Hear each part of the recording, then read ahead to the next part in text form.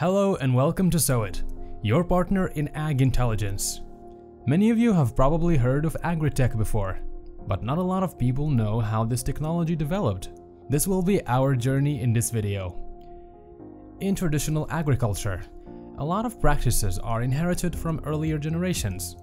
These techniques relied primarily on guesswork, as well as intensive manual labor. And while these practices have benefited humanity for thousands of years, we have now reached a point where technological advancements can offer huge benefits in terms of output and efficiency. And this is where agritech comes in. Agricultural technology, commonly abbreviated to agritech, aims to make the food production process as efficient as possible with minimum costs. The lightning speed advancements in technology of the past couple of decades, coupled with a growing population and decreasing amounts of arable land, created the perfect climate for this kind of innovation in the agriculture industry. Simply put, agricultural technology, or agritech, is the application of technology to produce more with less, to make the farming process more efficient, from field monitoring to the food supply chain itself. Agritech also saves farmers time and money by automating tasks and replacing much of the labor needed on a farming operation, which usually constitutes the highest cost input to a farming system. Agritech is having a huge impact upon the whole food supply chain, using technologies such as the Internet of Things, or IoT, and remote sensors to reduce the possibility of wasting water. Machine learning and AI are also at the heart of what is ahead in the agritech world. Unsustainability stemming from food being produced in ways that negatively impact an already delicate environment is a key problem facing the food industry. Meanwhile, the demand for food is increasing as the world's population keeps on growing.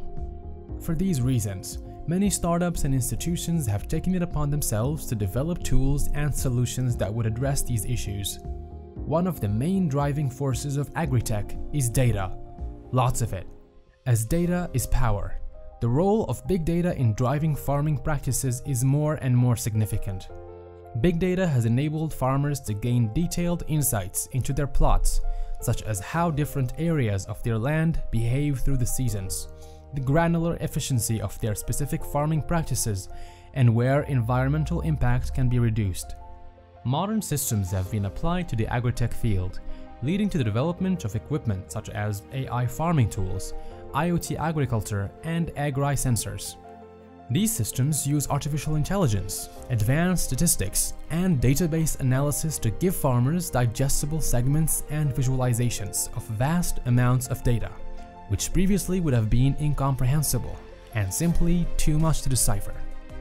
GPS agriculture, also known as satellite farming, is the use of GPS technology to increase farm efficiency there are many ways GPS technology is being used in agritech to boost yields while minimizing inputs. GPS agriculture enables the real-time mapping of fields and farmland, allowing farmers to gain valuable insights into the nuances of their land. Aerial farm management.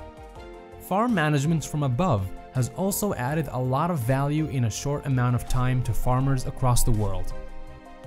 Drones and other unmanned aerial vehicles have burst into the industry and have several agritech applications that work to save farmers time and money while boosting yields.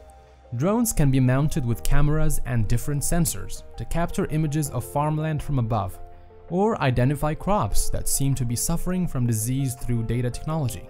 The technology in this innovation can also sweep across a field, releasing herbicides or pesticides to fend off weeds and pests or to plant seeds in rows without farmer intervention. The advancement of agritech systems and equipment has made farming smarter and more automated in the last few decades. Using agritech drones for fertilization, irrigation and data collection, automated seeding and weeding, and tools for monitoring and analyzing farm activity and efficiency, these things have allowed farmers to reduce the time they spend on manual labor and repetitive tasks. With more of their time freed up, farmers can now focus their energies on higher stakes activities, like investigating business expansion, marketing, and distribution channels that will raise their bottom line. And as with any other technology, the outcomes from its application lay in the hands of the user, and we hope that Agritech will build a greener food system for all people. To see how SOWIT has been helping farmers across more than a dozen African countries, we invite you to watch our other videos. See you on another episode.